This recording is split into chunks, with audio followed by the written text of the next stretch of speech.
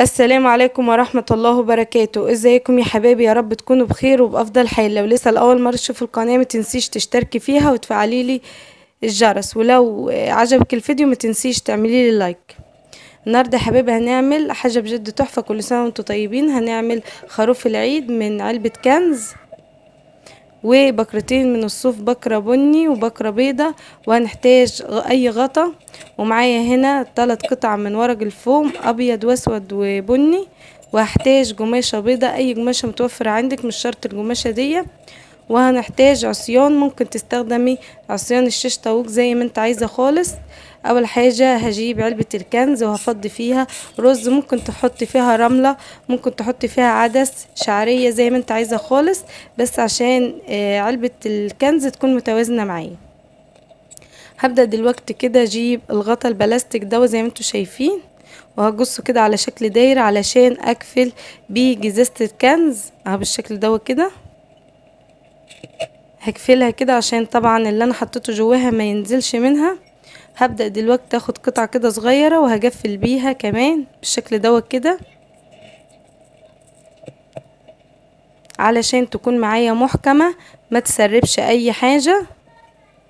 خلاص كده هو اتقفلت معايا تمام. هبدأ دلوقتي أجيب العصيان بتاعتي دي ستيك بتاع آيس كريم. ممكن تستخدم زي ما قلتلك كده عصيان الشيش طاووق زي ما انت عايزة خالص. آه بالشكل كده هعملها رجول للخروف. هبدأ دلوقتي أخرمها بالشكل دوت كده. أهو كده يا حبايبي زي ما أنتوا شايفين. بجد تحفة وهيفرحوا بيه ولادك خالص. هدخل كده العصيان زي ما أنتوا شايفين بالشكل دوت كده.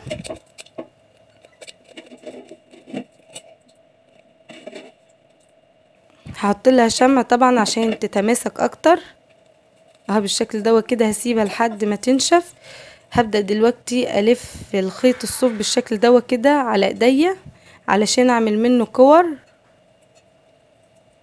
معلش مسرع الفيديو خالص عشان طبعا هو طويل خالص. هلف كده عليه خيط وهبدأ أربطها بالشكل دوت كده وهجصها كده من على الجناب زي ما أنتوا شايفين.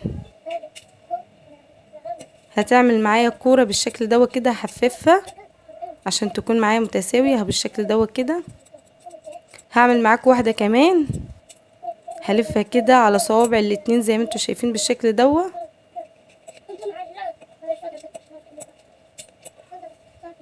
لو عجبك الفيديو متنسيش تعملي لي لايك.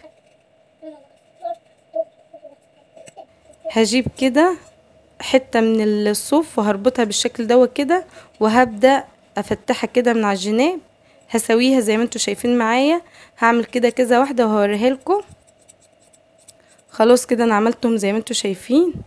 هبدأ دلوقتي أجيب القماشة البيضة بتاعتي. ممكن تستخدمي أي قماشة متوفر عندك بس لازم تكون بيضة عشان متعكس على على الفرو اللي إحنا عملناه بتاع الخروف. هبدأ كده أفتح فتحتين مكان الرجول علشان أدخل منها القماشة بالشكل دوت كده هحط كده شمع علشان الزقها كويس خالص بالشكل ده. هقفلها كده كويس خالص وهسويها كويس خالص. لو عجبك الفيديو متنسيش تعملي لي لايك. ولو لسه جديدة في القناة أتمنى تشتركي فيها وتفعلي لي الجرس. هقص كده الجزء الزيادة هقفلها كده أهو زي ما أنتوا شايفين بالشمع خالص. أهو بالشكل ده كده يا حبايبي. لو حابين أفكار تانية لخروف العيد أو زينة العيد قولولي في التعليقات وإن شاء الله نعملها مع بعض. وتكون سهلة وبسيطة. آه بالشكل ده خلاص كده قفلتها زي ما أنتوا شايفين. هبدأ دلوقتي كده ألف الخيط على الرجول باللون البني طبعا. هكسيها كده خالص. هغلفها بالشكل ده كده حطيت شمع وهفضل ألف كده في الخيط لحد ما أغلفها كده كويس خالص. خلاص كده يا حبايبي عملتها بالشكل ده وكده زي ما أنتوا شايفين. هبدأ دلوقتي أجيب الفرو والزجه معاكم كده بالشمع. أهو بالشكل ده كده بصوا شكلها بجد تحفة. لما نشوف النتيجة في النهاية بصوا. لو عندك صوف تاني ممكن تزودي. جبت غطا تاني بلاستيك زي ما أنتوا شايفين كده وهبدأ أقص الوش.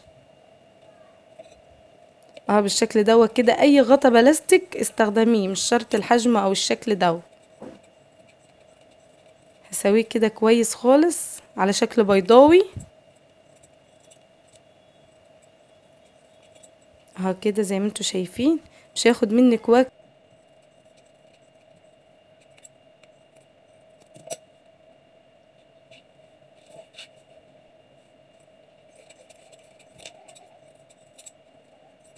ولو عايزين أي أفكار تاني زي ما قلت لكم الخروف العيد ممكن تقولوا لي في التعليقات وإن شاء الله ننفذها مع بعض. عملت كده الودان بتاعته؟ أهو بالشكل دوت كده هسويهم زي بعض. أهو كده يا حبايبي زي ما أنتوا شايفين. طبعا هجيب ورق الفوم البني وهحاول كده أقص علشان أغلفها بالغطا البلاستيك اللي أنا عملت منه الوش بالشكل دوت كده بصوا بمنتهى السهوله مفيش حاجة هتاخد في إيدك وقت. بصوا شكله بجد تحفة. وكمان ممكن تعمليه على العيد وتحطيه كده هوا على الترابيزة للضيوف وهم داخلين كده يعيدوا عليك بجد شكله روعة. هتشوفي شكله في النهاية. هغلف كده هوا الودان وهلزجها. التانية كمان زيها. أحط كده شمع علشان تلزق معايا كويس. طبعا الشمع هيخلي الخروف لازق كويس مش هيفك منك أي حاجة منه مش هتفك. خلاص كده بصوا غلفتها بالشكل دوت كده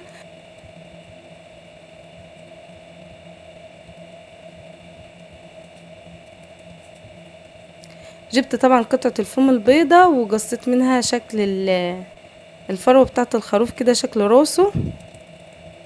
أهو بالشكل دوت كده بعد كده قلت أعمل مادة الرقبة بتاعة الخروف كده عشان يديني شكل كده أحق إن هو باصص عليا وكده. فحبيت إن أنا أعمل إيه؟ يعني كأنه رول كده أطويه بالشكل ده وألزقه في المكان ده مكان الوش كده. وبعد كده ألزق فيه الوش بتاع الخروف.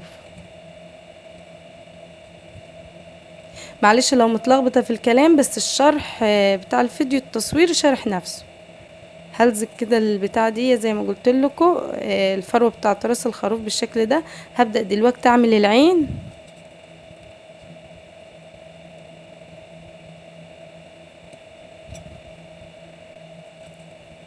أهو كده زي ما أنتوا شايفين. عملت العدسة بتاعت العين.